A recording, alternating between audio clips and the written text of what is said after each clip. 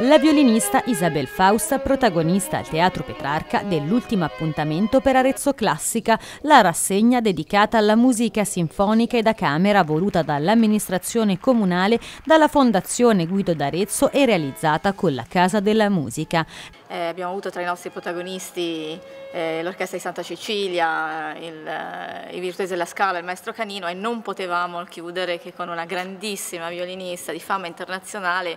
eh, quale Isabel Faust, interprete eccezionale in tutte le platee, infatti onoratissimi di averla ad Arezzo, ospite delle più grandi orchestre, dai Berliner Philharmoniker, quindi con i più grandi direttori, mo, addirittura Bado ha collaborato, per cui credo veramente un grande, grande onore per Arezzo. La musicista tedesca ha proposto al pubblico aretino la sua esegesi interpretativa della scrittura bacchiana, ad accompagnarla in questo viaggio la Bella Addormentata, uno Stradivari del 1704.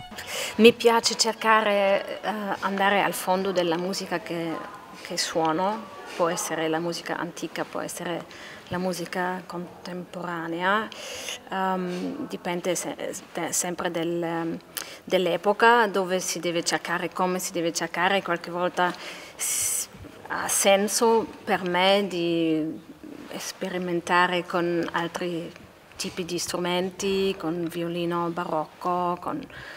archi eh, barocchi o classici, um, dipende del, della musica che suono e, e, per me è sempre un modo, una necessità e una